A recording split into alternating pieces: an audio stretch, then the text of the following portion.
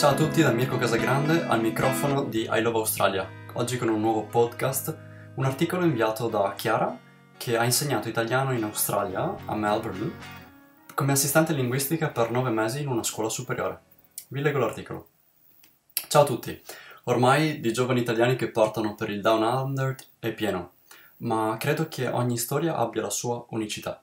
Spero di riuscire a trasmettermi almeno una parte dell'incredibile emozione che ho provato per quei fantastici nove mesi insegnando italiano all'estero. O meglio, all'inizio non li avrei certo definiti fantastici. Ora vi spiego. Dopo due titoli, ottenuti con impegno e sacrificio, ma anche con la consapevolezza della loro scarsa fruibilità, se non in termini di appagamento personale, laurea, laurea in lettere e diploma di conservatorio, mi sono trovata come tantissimi, alla disperata e vana ricerca di un lavoro in Italia. Dopo mesi, la botta di fortuna. Vinco un posto come assistente linguistica di italiano in Australia e ad aprile 2012 ho preso il mio bell'aereo e sono finita dall'altra parte del mondo, a Melbourne, pronta alla grande sfida. Non so come avreste reagito voi, ma per me, abituata alla tranquilla, pulita e ben servita a Brescia, è stato un vero shock mi sono trovata a vivere in un paesino sperduto nella natura selvaggia, dove si guida per chilometri prima di finire in un altro paesino. Oltre a dover arrangiarmi da sola, a trovarmi una casa usando una lingua che non parlavo benissimo, ho anche sfidato la mia paura per animali e insetti, dovendo convivere con grossi ragni pelosi, topi e lumaconi. Mi sono scontrata con una mentalità e una cultura molto diversa dalla nostra, come sapete.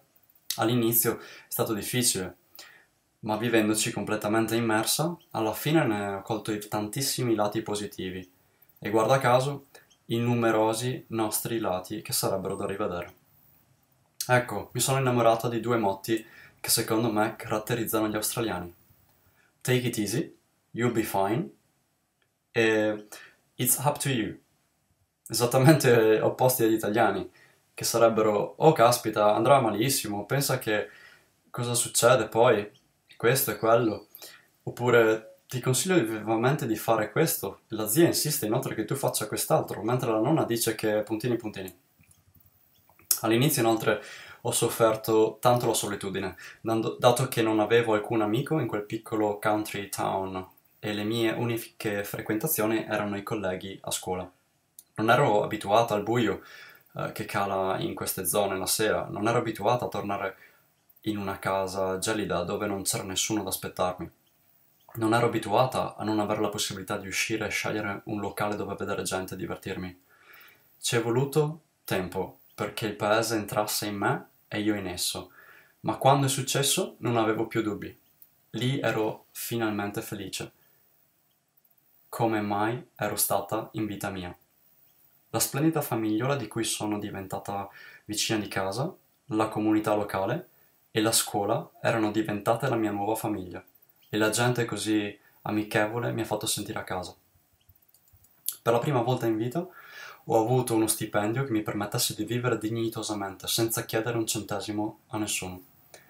Mi sono quindi regalata tre super vacanze per scoprire alcune parti dell'Australia, la Great Ocean Road, il Queensland e il Red Center. Semplicemente stupendi. Ultima cosa, ho scoperto quanto mi piace insegnare italiano in Australia.